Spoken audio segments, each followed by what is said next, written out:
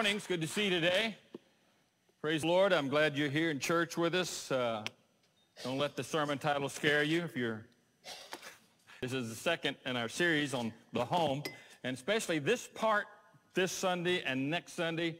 Uh, I think it's very, very important message that we have because it not only extends to the areas of your home and facing the need in your home and family, but this is a message, even if you're not married, all right, that deals with resolution and conflict, you know, settlements, that uh, married, single, business, whatever, you know, this is going to help you in, in so many different regards. So uh, even though it's, it's part of our home series of message, it certainly is meant to minister and to help each and every one of us because uh, this is the relationship world we live in, whether it's business relationship, neighbors, family, friends, brothers, sisters, aunts, uncles, or, or guy at work. This, these principles apply to each and every one of these areas. So I encourage you to listen carefully. Uh, sometimes when we have a m- series of messages and someone, well, that's really not me because, you know, I'm a, I'm a single or I'm maybe I'm divorced and have a marriage relationship or whatever you go through and different. Listen, there's always something from the Word of God we can glean whatever the message is, but I really do honestly want to share with you this is the message that will help you in so many different areas and so many different regards to your, to your life and to the world that you live in. So I encourage you to pay real close attention to it. You know, we have a usually a reading of, the, of a passage at this point in time, and we'll do so today, but I'll just let you know it is one verse, but I do think we should honor the Word of God as we read the Word of God by standing one more time with me. And let's look at this verse. It's found in Mark chapter 3 when Jesus is speaking. And he says in Mark chapter 3, verse 25, I do have it on the screen here, says that the family that divides itself into groups that fights each other, that family will fall apart. Uh, the home filled with strife and division destroys itself. Another translation of what we have on the board, a house divided against itself, that house will not be able to stand. Somebody say amen to the word of God this morning. You may be seated. Thank you for standing. You know, the house divided against itself, we've used this on a national sense, in a home sense, in a business sense, in a team sense. It is so true. If the house is filled with arguments and strife and conflicts that are never resolved, then how are you ever going to expect to have peace in your life on any level? So I want to focus in on this, how to, have, how to have peace or what is the peace plan and how can we really have that in our life? Because as I look across homes and, and marriages today, I see so much trouble the multitude of divorces that we face in our culture, obviously there's not a lot of uh, people know how to resolve problems and how to settle conflicts, and the communication issues are certain, certainly faltering and failing, not only in the home front, but on so many different levels. People are having problems in relationships. You know, uh, conflict, by the way, let me say this, is common in life. And uh, in case you don't know, maybe you're newly married in the room today. Let me say to you, you unless nobody warned you, that uh, conflict is common in marriage. It's not uncommon. If you got married with an expectation that just because you both love Dr. Pepper, that all your other problems, you're in for a definitely rude awakening. Can I get another amen? amen.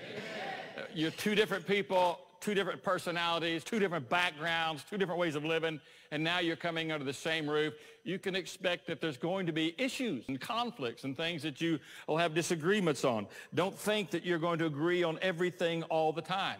A lot of people run from conflict. Oh, we, we, we had an argument. Life's, uh, get a, grab me a lawyer, you know.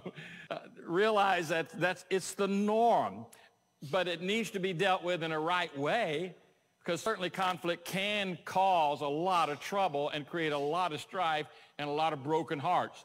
But please understand that there, there's resolutions and that, that the conflict can be healthy for your relationship because it lets you begin to know each other the way you really need to know each other and understand each other on a level that's going to be beneficial for both of you. God gives you, you know, we use the old thing about the opposites attract. If God gave you an opposite, that's a good thing, all right?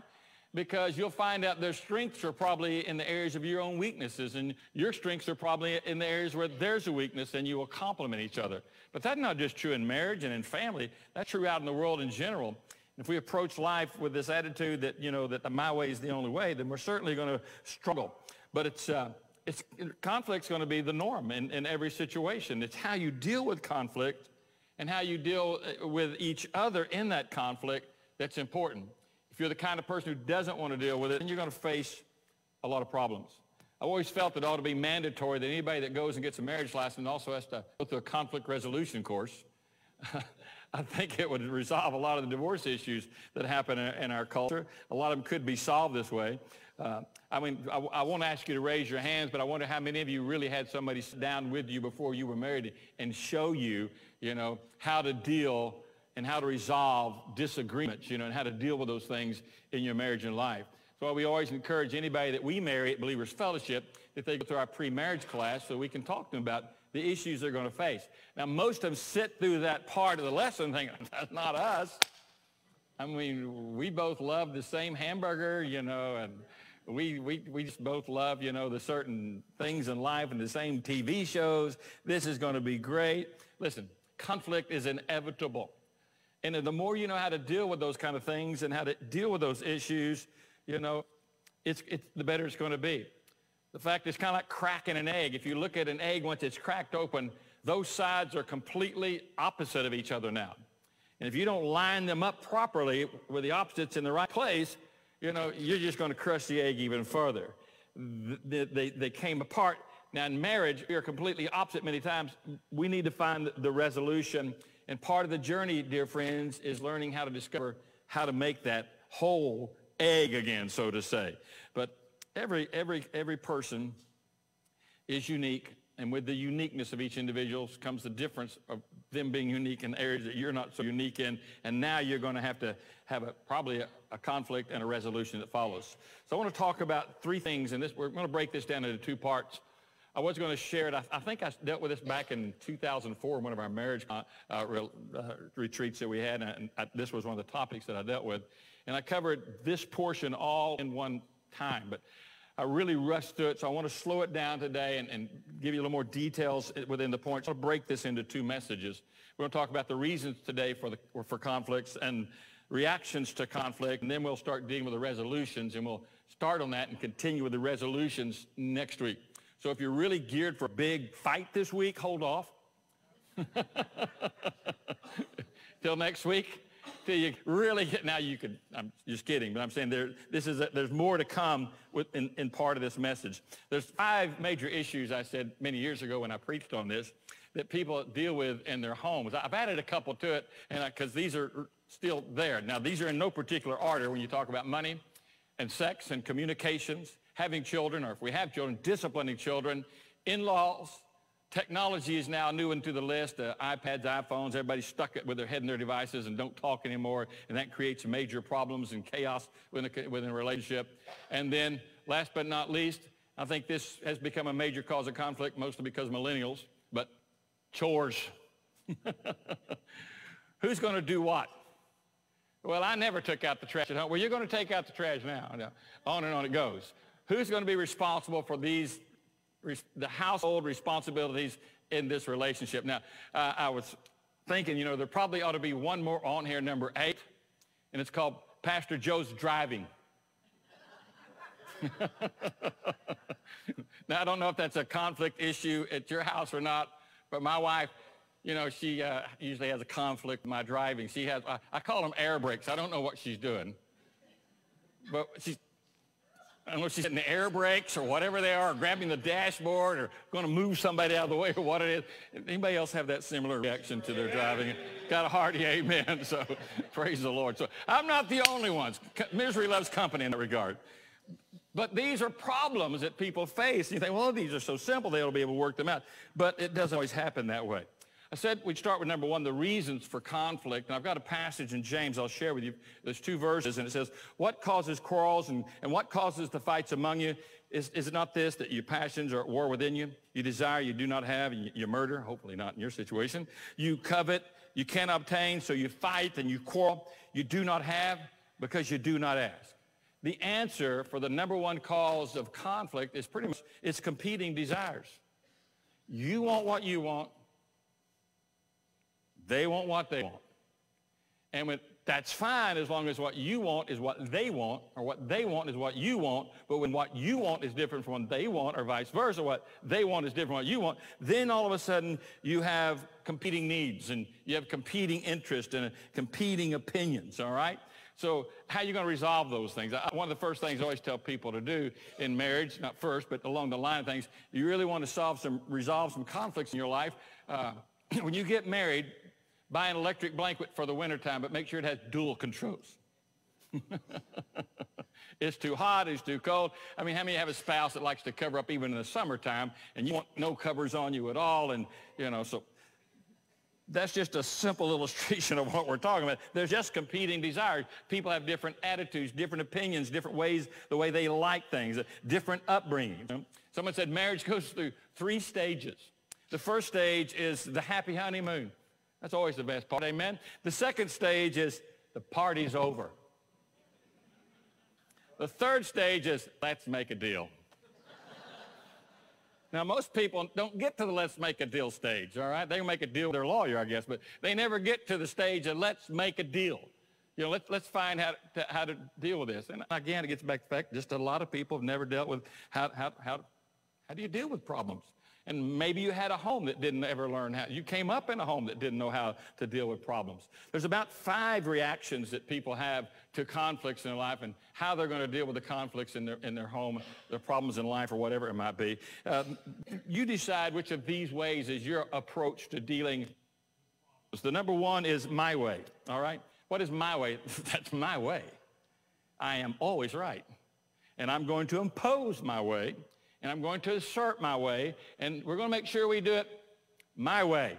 It's that old my way or the highway. Well, let me give you a simple bit of advice on my way.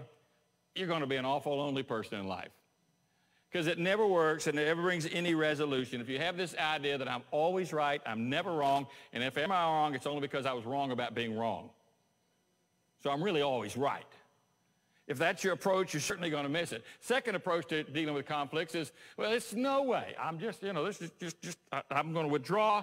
I just don't like conflicts. I don't like problems. You know, it's that, that, that stick my head in the sand approach or the turtle method where you just push yourself into your shell and you just let your shell get harder and harder. You back away from conflicts or you just ignore conflicts. At all costs, I'll avoid conflicts. It's just easier that way. Well, it may seem easier, but nothing's ever resolved. And by the way, you're probably becoming, you know, just a, a, a dynamite in, inside. Where sooner or later, you're just, you're just going to explode because you keep pressing all that stuff down. It's, it's like the garbage can, you know, when you, if you have the chore of taking out the garbage, that's my chore at the house. You know, I take the garbage out. Kathy has a way of letting me know when it needs to go out. Like I can't figure it out. But she lets me know.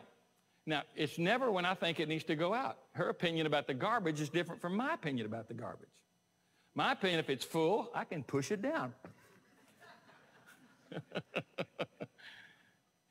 you know, my smelling's not good as hers, apparently, so it's. Not no problem. Close it up. What happens? You keep pressing it down, pretty soon the bag's going to explode, all right? If you're doing that internally with stuff, and you're just holding garbage in, Sooner or later, it's going to it's going to explode on you.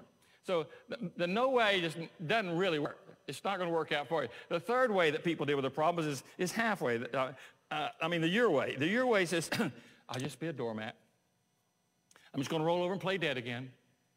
I'm just, you know, I just don't want to deal with this. So we're just, whatever you want, you're going to do anyway. Whatever you want, just go ahead and do it. I'll, whatever you want. And that's the your way. Your way is another one of those issues which creates a lot of internal stress and a lot of internal anxiety, and pretty soon, sooner or later, it's going to be a mess. It may be a peaceful way for living in the moment, but it's not going to really work out, and it's a very frustrating way to choose to live your life. Now, if you're the you're of the your way, it's no problem for you, right? but it doesn't work. The fourth way is halfway. We'll give in some. You give in some. We'll win some. We lose some. But hey, it's, it's, it's better than the first three. But, you know, I'll go, as long as we meet halfway, we're okay. Well, that's not necessarily the right way either. All right? And you might make compromises, but they may not be compromises you maybe really ought to be making at all.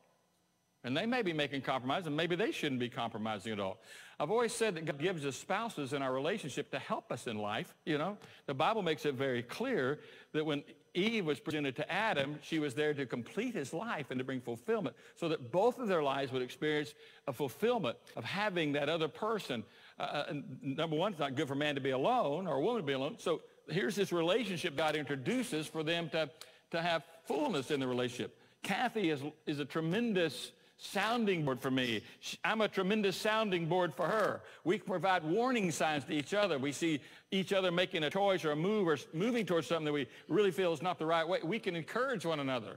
We can hey, say, hey, have you thought about this? So we're there to bring help and assistance and encouragement and, and fulfillment to, to each other's lives. So this halfway is not always the best way to go. You say, then what is the best way to go? Our way, and by the way, let me tell you about our way. It really starts with having an open heart so we really know what God's way is.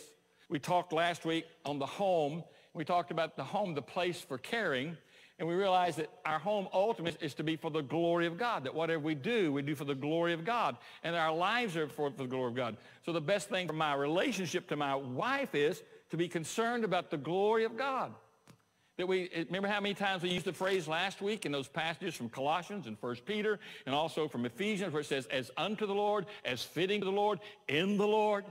That's really the way. And that's the way that we should go. That should be the, the goal that we're focusing for because we are, because God has done a work of, and, and when we said I do at the altar, God did a work of making us one. And we need to discover what that one way is. Now you may think, well, that's my way, of, obviously. No, it's our way. It's her way. No, it's our way. And we can discover what God is doing in us and with us and through us and what he's trying to work out in us. That's the, what, that's the goal in mind. That's where we want to head in our life, that we have now this mutual life, this mutual concern, a life of now respecting one another and enjoying the will of God in our lives. So now we care about each other. And we care about what would threaten each other. We care about solving the problems. We care about developing the relationship. I care about you. You care about me. So we want a resolution that is mutually satisfi- satisfying and encouraging to who we now are in Christ Jesus. But what happens? We said, well, we have that reason for conflict, our competing desires. So this is something we have to be on guard about. It's something we have to be cautious about. It's something we need to be reminded about. That's why we do every year marriage retreats and marriage conferences because we want to develop, you know, our relationship before the Lord with each other. So it's important we understand that there, there's reactions to, to, to these conflicts in our life, and we need to make sure that, that the reactions are heading in the right direction so that our, our conflicts are, are, are putting us, pointing us towards the oneness of who we are and our relationship with the Lord Jesus Christ. So let's, let's deal with the third thing I said I would talk about, which would be the resolutions, amen, to conflict. And there's eight steps of revolution that we'll cover. We'll get started on today and we'll cover part next week as we'll look at these, these resolutions or the ways that we can respond to each other. Now understand, these are biblical ways to deal with things. This will not be in Dr. Phil's manual. All right? Some of them may, but I can pretty much guarantee the first won't. All right? But these are biblical principles that we need to apply to our relationships with each other, our relationships in the church, our relationship in our own families, brother to brother, sister to sister, you know, mother to father, father to mother, all along the board. These are things that will help you in the whole of your life and will bring great fulfillment to your life. So no matter where you are, you're going to have conflicts in life. I'd embrace these, all right? Let's start with what I consider to be the most important step from God's word on how to resolve conflicts. This, this is an important thing. It's called becoming a believer giving your life to Jesus. Ephesians 2.16, the apostle writes these words, as part of the same body, our anger against each other has disappeared, for both of us have been reconciled to God, and so the feud has ended at the cross. Now he's talking about a relationship to Gentile, to Jew, to Christ, how that we're all brought together through Jesus Christ to the Father. But the, the idea here is that God has reconciled us through the cross, all right, and made us all one in him. That has to be transferred, the principle does, to our marriages and to our relationships where we realize the cross is the ground we all come to. Jesus is who we all submit to. And when we come to him, life really begins. Now, I can't reiterate this enough. I know maybe you sit in church and you've been here as long as I've been here, and you probably can't count any more than I can count how many times I've told people, told the church, reminded us all that the most important thing we'll ever do in our life is the most important is to give our hearts and to give our lives to Jesus Christ. Have you heard that from up here before? Let me remind you again. The most important decision you will ever make in your life is not where you're going to go to school, not who you're going to marry, if you're going to do this or that, what kind of car you're going to buy. It's going to be what are you going to do with Jesus Christ? What are you going to do with Jesus? That's the most important critical issue of your life. Because until we come to Christ, we are isolated from God. And we need God, all right? Without him, we have no hope. If our lives are not committed to Christ, no matter how moral, no matter how decent, and even this, no matter how religious you might be, your life not really needs to be. Scripture makes it very clear in principle that Adam and Eve, before God, right with God created perfect fellowship with him. They sinned against God. And the Bible tells us because they sinned, that sin passed upon all men. All right? It became the nature that was transferred from Adam and Eve to every person that is born. We are all born with a sin nature. Let me put that in real common English for you. You want what you want, all right? You want what you want, and doesn't matter what others say, doesn't matter what God says, you want what you want, and no matter how you dress it up with religion, you may get baptized, sprinkled, confirmed. Somebody may bless your life. You may experience some kind of religious event in your life. But until you really surrender your heart to Jesus Christ, you don't have what you need. Because the Bible tells us while we are separated from God because of our sin nature, seeking ultimately to please ourselves, that we're alienated from the power of God, from the blessings of God, and from the grace of God. All right? So I'm Bible says in Ephesians, we are dead in our trespasses and sin. In other words, you're not even really fully alive till you come to Jesus Christ. You say, Brother Joe, I am a good person. Fine, I appreciate that. We all do. But you need Jesus Christ to save you from your sin, from the penalty of your sin, from the power of your sin. Only Jesus does that.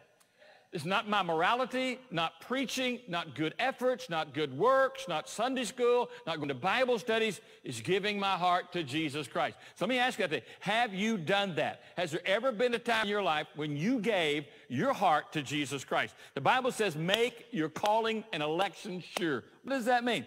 Make sure you know Jesus, you know? The Bible says see if you're really in the faith.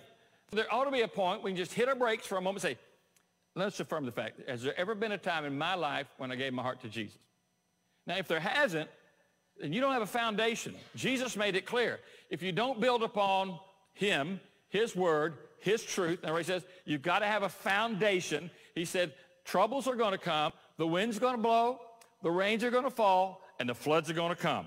He said, if you've only built your house on sand, which means you've decided you have your own plan, your own way, and that's going to work for you, you know what the Bible says. You know what God says you. It's not your cup of tea. You're going to do it your way. He says, when the troubles come, your house is not going to stand. Your house is going to fall apart.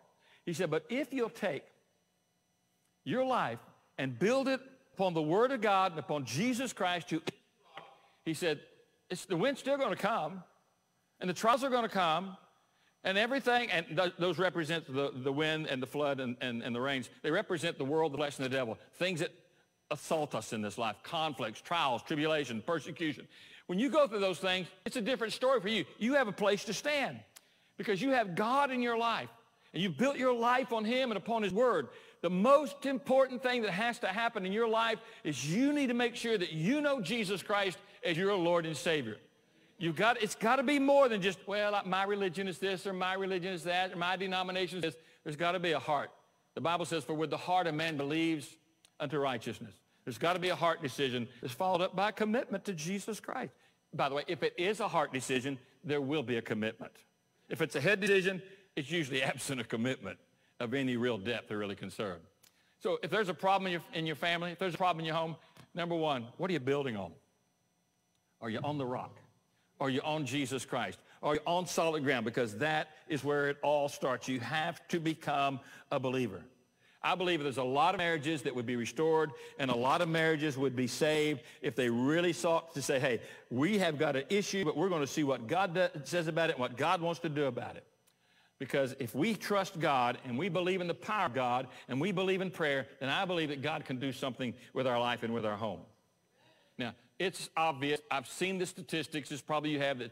It's almost now that as many people who profess to be Christians have experienced as many divorces there as they have in the people who don't confess to be Christians, all right?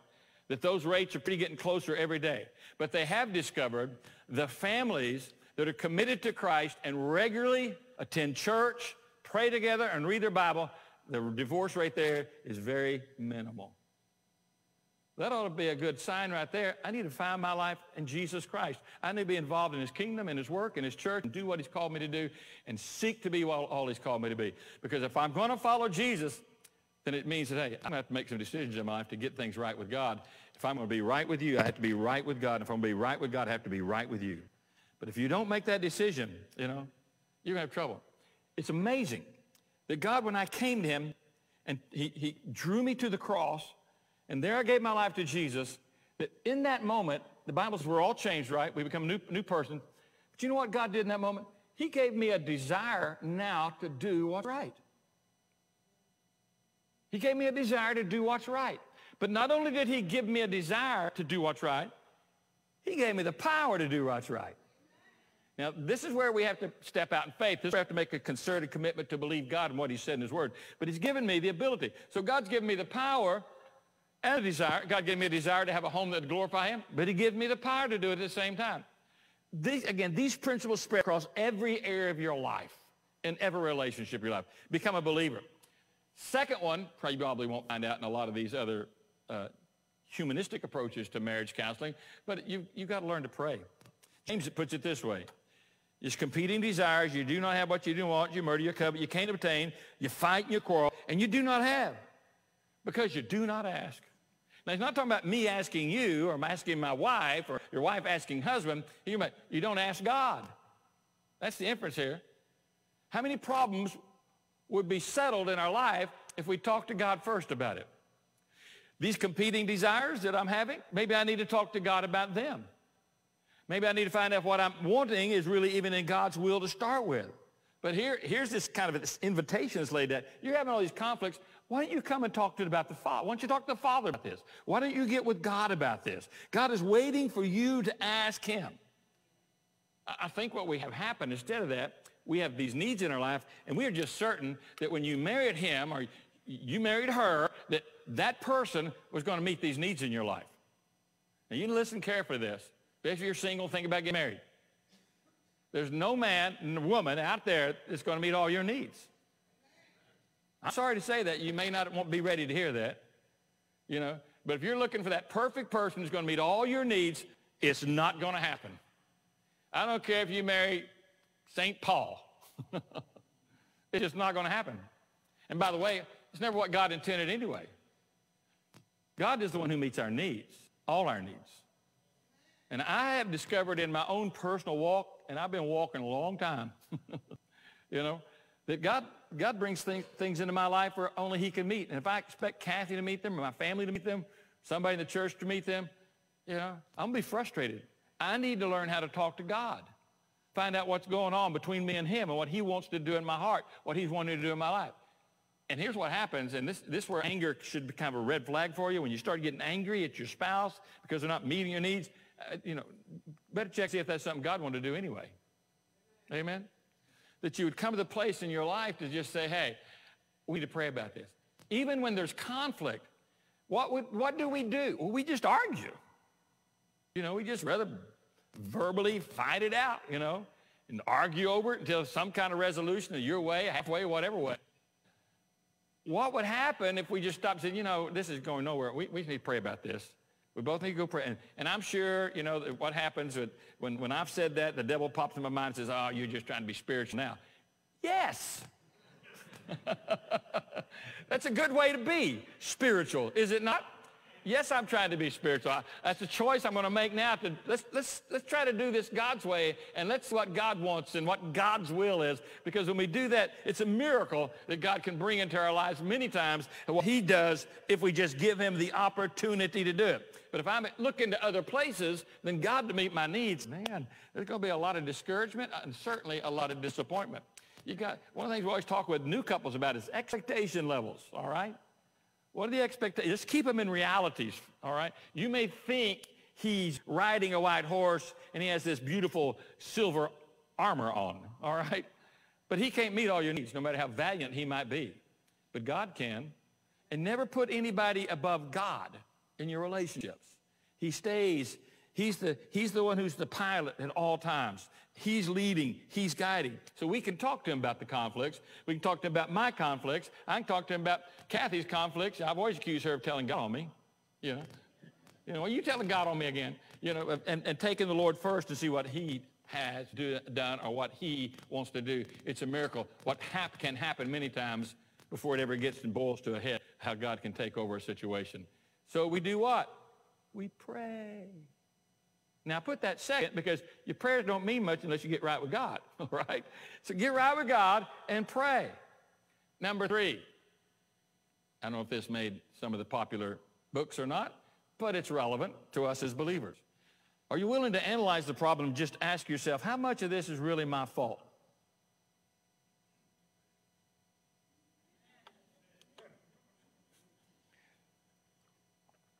I'm not at first. This way you learn to keep your mouth shut and then let God deal with your heart, you know. Be angry and sin not, you know. Be slow to speak, you know. Quick to listen.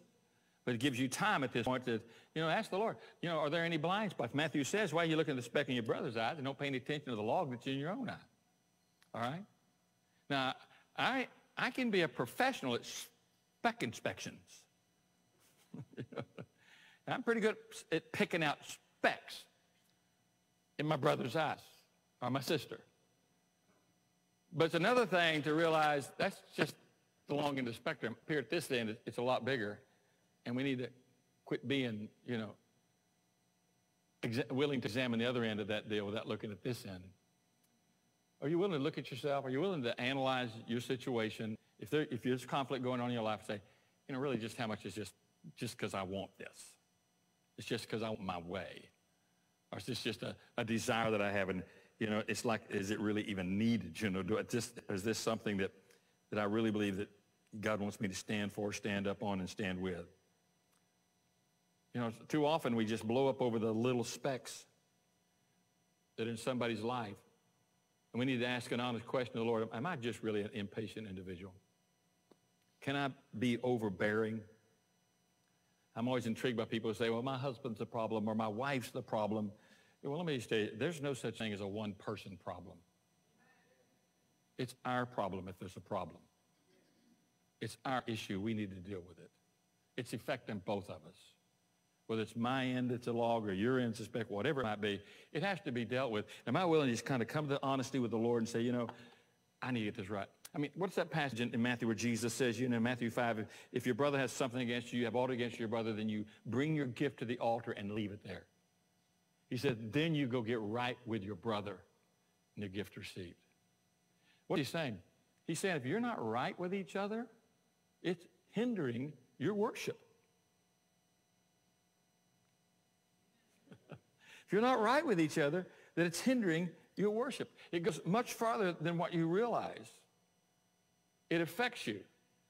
and so over and over through Scripture talks about the importance of, of, resolving our problems and resolving our issues. But if we're always maintaining that I have no sin, I have no falter, I have no failure. 1 John 1 8 says, you know, hey, if we say we've not sinned, we deceive ourselves and the truth is not in us. We could well may be the one who's having the problem. So I need to ask myself. There's another verse that really links to this, which brings us to point four. If this is a, you know, this, we're not talking about just a casual conflict here, but if there's an ongoing conflict we haven't found resolution on, then you need to make, you need to make some plans about getting it settled. There needs to be a time you sit down face to face to deal with the real problem. You schedule a peace conference to find out what's really going on in each other's heart and mind. The Bible says in 1 Peter 3, 7, live with your wives in an understanding way. Underline that part. In an understanding way. All right? We need to, we need to seek to understand because they may be going through something. Your wife, your husband may be going through you, you don't have the full picture. You don't have the full information on. You don't have the full background on. And they're acting in such a way you don't understand it. He says, you live with your wife in understanding as a weaker vessel. She's a woman. You grant her honor. That's a powerful word, is it not? You treat her with respect. Don't think that she, we talked about this last week. Don't think that your wife she's a woman, so she doesn't have what you have. You know, the, Jesus upset the whole social structure. And so did Apostle Paul when he elevated women to the same class as men. It just blew everybody away. That wasn't the norm, nor was it the national mindset or the social cultural aspect of any of the cultures, whether it was the, Grek, the Greeks, the Grecos, the Romans, the Jews. It was just a whole different thing. But Jesus elevates everybody, and he makes us all equal at the cross. We talked about all this last week, so you go back on Facebook, look at our YouTube channel, you'll hear the sermon where we dealt with this completely, that all ground around the cross of Jesus Christ is level ground. There's nobody any better, and there's nobody any worse than you. It's all ground. And so he said, you honor and you should love one another, you respect one another, you regard one another. And now he's telling men, you need to regard your wife. You need to respect your wife. We talked about women respecting their husbands last week. He says, hey, you grant her honor as a fellow heir of the grace of life. Catch this. Here's this aspect of worshiping, so your prayers not be hindered. Now, I think this, obviously, I think you can flip this verse as well. He's already told wives to submit to their husband, but what if they don't? Then the prayers are hindered. Then they're not being affected, and they're not living in an understanding way. Someone said, what's that mean? I said, well, it means find out what your wife likes and do that, and find out what she doesn't like and don't do that. All right? There's just certain things that sometimes that, you know, that, that, that we are doing as men that just, I know, upset Kathy. So the Lord said, why are you doing that? You are heirs together of the grace of life. You're in, you're in this boat together. Why are you poking holes in the bottom of it? you keep poking holes in it, it's going down. It's going to sink. So he's talking about the fact here that, you know, you need to learn to, to know each other, and you need to learn to understand each other, and you need to learn to comprehend each other. And this takes time, and it takes effort, it takes energy, and it takes patience, and it takes humility. But if you don't, you're not able to worship the Lord effectively. You know? Anybody ever fight on the way to church? That's why you drive your own car. No. no, you learn to resolve the situation, and you get the relationship right. Schedule a peace conference. Not close today's message. Here's how you schedule a peace conference. Now, you don't need a peace conference on every issue that comes up, but there's some things, you, it's like a mountain, you know. Uh, it's got to be climbed, and you're going to have to deal with it. You're going to learn how to deal with it. How, how do you do that? How do you, how do you have a, a good peace conference? Well, let me show you some ways that will help you out. One most important thing is you got to choose the right time. And timing's everything. You can't just drop a bomb, all right? You know, it's like an IED. All of a sudden, boom, you walked right into it, and it blew up right in your face, and now you got problems. You know, worst time in the middle of a disaster. Worst time when you walk in the door from work. You know, that's not good timing. That doesn't work. Second thing, you want to choose a neutral place. What's that mean? Not in front of the kids. You know, you, you want to choose a, a, a neutral place uh, well, the best place is to take your, your iPhones and you silence them. Any devices, laptops, computers, you just get them into another room so you're not preoccupied or looking at them if they light up. They're just distractions. You need to be at a place, you know, where there's, where there's no distractions. Let me tell you, not in the bedroom in bed. That's for making love, not making war. I'll just put it in simple terms. All right? Not in, that's not the place. That's not a neutral place. Third thing, you come with the spirit of reconciliation. You come with the spirit of forgiveness. You come with the spirit of humility. To say, we have an issue. We're going to find what our way is. We're going to find out what God's way is. We're going to do the right thing in the right way, and we're going to honor the Lord with this. So we're going to pick the we're going to pick the right time. We're going to pick the neutral place, and we're going to come with the spirit of reconciliation, and we're going to come with humility. And then, most importantly, you have a goal in mind and you're going to get to your goal, to find a resolution, to fix this problem. We're not coming to point fingers. We're not coming to say you, you, you. We're not coming to blame each other.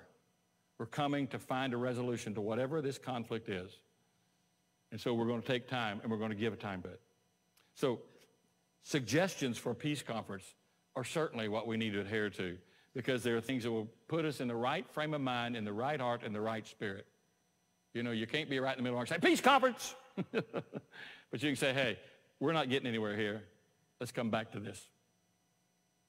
This afternoon, tomorrow morning, whatever's going to be the best time. we'll come back to this. And we'll just stay in an attitude of forgiveness and an attitude of humility, and let's see what God is going to do in our life. I think too many people don't understand this whole thing about conflict. They think it's just kind of learning to cope, you know. And if we can learn to cope with each other's differences, there may be some element of that. But hey, the marriage and the home is, is supposed to be a completely different world than what the world presents. Your marriage is not going to be, if, if, if it's Christ-like and godly, it's not going to be anything like what they present on primetime TV. Anything they present on the, in the media, it's unique. It's a God thing. It's something that brings glory to God and it literally becomes a witness to the world of what God can do with people and how God can restore people's hearts. And even if we have some deep, deep, deep wounds that we've held on to and have been so carrying them on for so long that you can find a place for peace and forgiveness. And what happens all too often is that people come into relationships, into marriage, into relationships, carrying baggage from old wounds and old pains and old scars and old hurt. You know, you got to give God an opportunity to bring healing. And so you've got to present yourself for healing first. Amen? And see what God can do. The Bible says a wounded spirit who can bear. And if your spirit is wounded, it's a hard thing to bear. A brother offended is harder to be won than a walled city, the Bible says. Somebody that, that's been offended is hard to win back. But if your heart is right and you're willing to let God be God and you're willing to let Jesus Christ lead you and say, I'm staying on the rock. I'm not going to build on sand. I'm going to stay on the rock. It may be tearful, but ultimately it'll be joyful. It may be difficult, but ultimately you'll see the glory of God. It is much easier to make a deliberate decision to restore than it is to divide and destroy. It's destructive, and it'll last for a long, long time. But when you begin to choose God's will and God's purposes in God's ways, it's a miraculous thing what God will do with somebody's life and what God will do with somebody's family. God's way. So I'm saying today, pay attention to your marriage. But again, these principles, pay attention to all your relationships. The Bible says that God has reconciled us unto himself. What's that mean? God started a relationship with, you, with me through his son, Jesus Christ. God, God reconciled me. But then he turns right around and tells Christians this, the same verse. And God has given you the ministry of reconciliation. In other words, I've been reconciled to God. Jesus did that in life. And now he's given me this same position in life is that now I'm a peacemaker. I'm a restorer. I'm a reconciler. Blessed are the peacemakers, for they shall see God. Pure in heart see God. Listen, there's no way that you're not going to have any issues and difficulties in your life. But what can you do? You can dedicate yourself to Christ, and you can dedicate your home to God, and you can dedicate your life. And when you realize you've failed in certain marriage, you recommit. You get back on course. You get back focused on Jesus. Well, I failed multiple times. Well, join the club. Hallelujah. But we're not looking back. We're looking forward. So let's look forward, see what God will do and God can do. Let's stand with our heads bowed.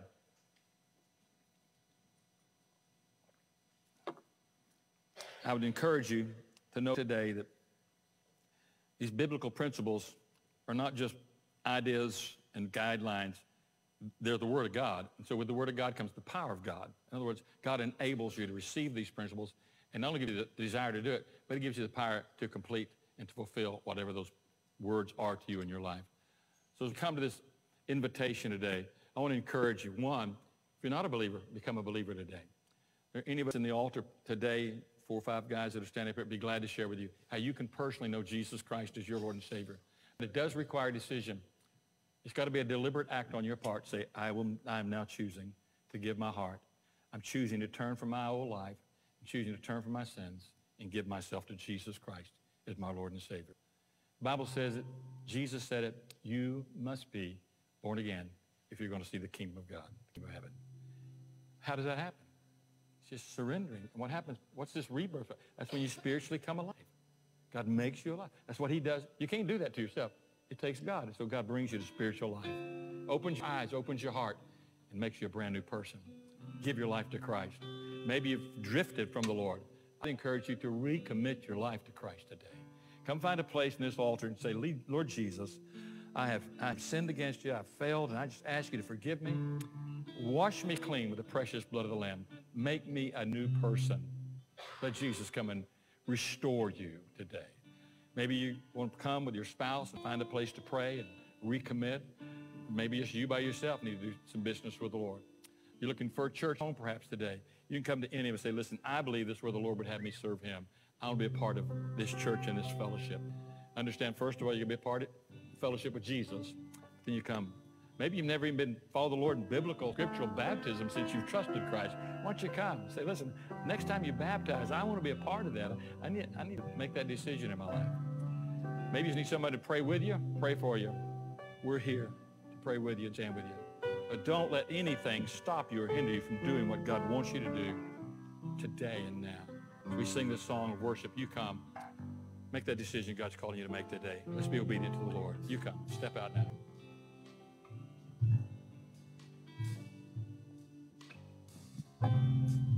When the music fades and all is stripped away, then I simply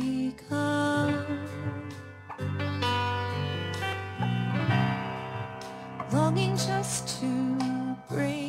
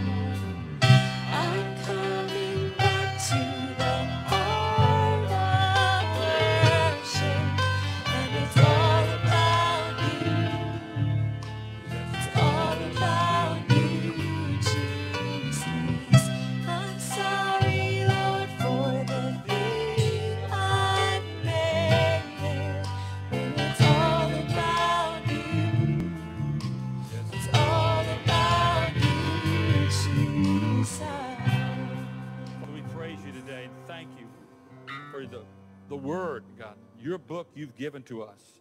that clearly guides and describes Lord, your purposes and your will in our life. That you haven't left us without direction.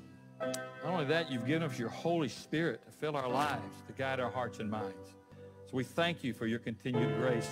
We thank you, Lord, for the commitment you've made to us.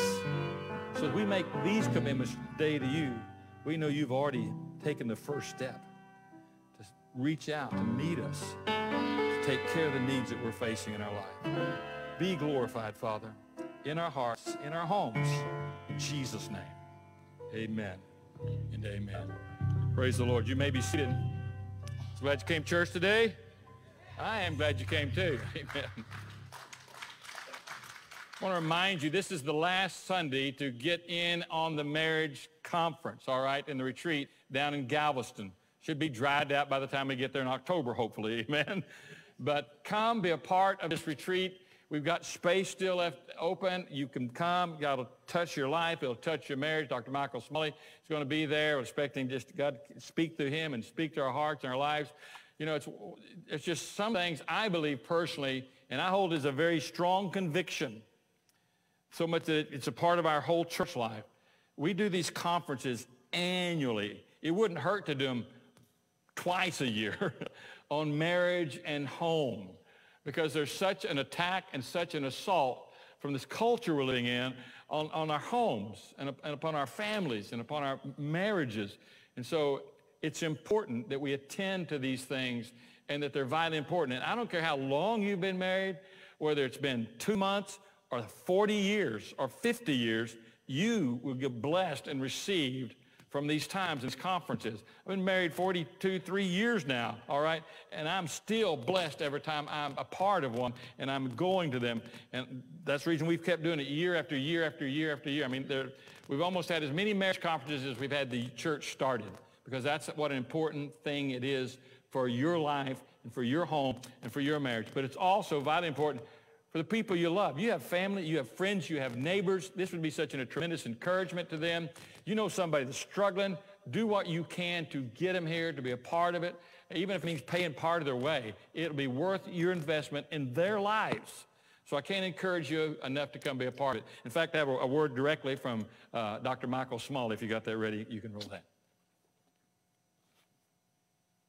Hey, Believers Fellowship, this is Michael Smalley, and I just wanted to personally invite you to the marriage retreat. Make sure you're coming, because I just came out, as you can tell by the beard, came down from the mountains in Colorado. Now I'm ready to have fun and have a great weekend with y'all, so don't miss out. You don't want to be that couple when all of us return, and we got all of our stories and all of our inside jokes, and if you didn't go, you're going to feel left out, and I don't want anyone to feel left out for this retreat because it really is going to be a blast, and I look forward to seeing y'all there.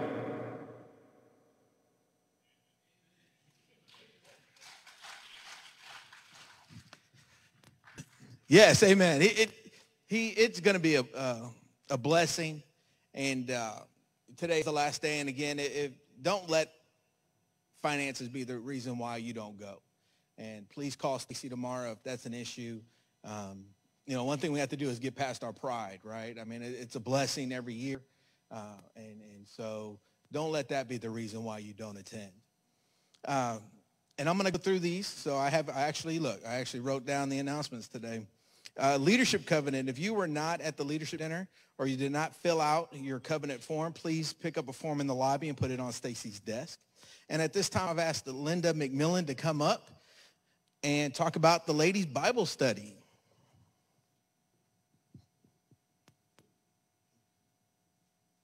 Thank you. Sorry, I don't do stairs, so we'll do down here. Okay, the next ladies' uh, Bible study class will begin Tuesday morning, September 25th from 10 to 12, and then Thursday evenings starting September 27th from 6.30 to 8.30. God's Girls uh, for ladies 17 to 28 will start September 29th. You will be meeting at the Starbucks on 2920 near Kuykendahl, and you will meet every other Saturday at 10.30. This study is called The Apostles' Creed by Matt Chandler.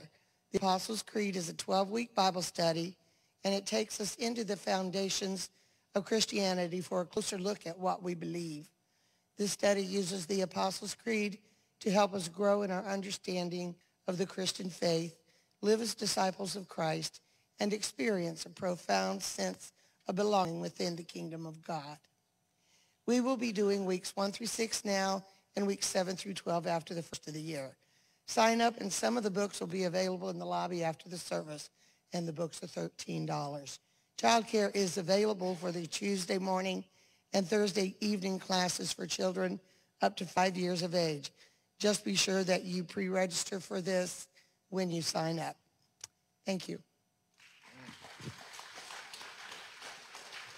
Amen. Women's dinner this Friday at 6.30. Spring Campus ladies, please bring sandwiches. Child care is available with registration. Youth Back to Church Sunday, Back to Church uh, party tonight at 6 p.m. Now, this is not a slide up there, but Journey 101 is next Sunday, the 23rd. It's not too late. There are forms in the back. That's if you, again, if you want to know more about our church, please do sign up for Journey 101 next Sunday at 4 o'clock. Now, uh, last time, I, a couple weeks ago, I spoke about how I like come up once in a while and, and recognize a ministry or a person that's leading the ministry. And this week, I want to recognize uh, Miss Cheryl. Cheryl, Miss Cheryl does a great job of keeping our church clean. Amen. She does a wonderful job. Now, Miss Cheryl does need a break. And so she is going on vacation this week. So I'm asking if you brought anything in the church, please while you're sitting down, coffee, soda, water, please take it with you uh, as you leave. Uh, Miss Terry has, agreed to, to kind of clean up, but let's help her out.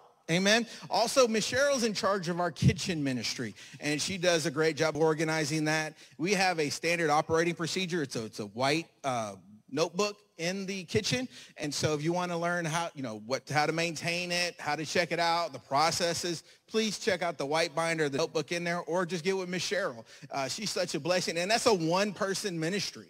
And she does a great job. If you'd like to help out, please see Stacy or Miss Cheryl, and we can sign you up and get you in there. But Miss Cheryl, just thank you for everything that you do for us.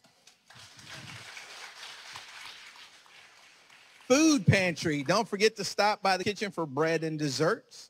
To our guests, thank you so much for attending our service this morning. Please be sure to complete the connection card again at the end of the service. Uh, our pastor would enjoy the opportunity to get to visit with you and put a gift in your hand. Don't forget your tithes and offerings. That also includes those attending, uh, watching on Facebook. We do not pass a plate. There are offering receptacles in the back. We tithe to be obedient to God's word, but also it is an act of worship. Are you glad you came to church today? Amen. Well, tell somebody next to you and you are dismissed. Don't forget evening services tonight.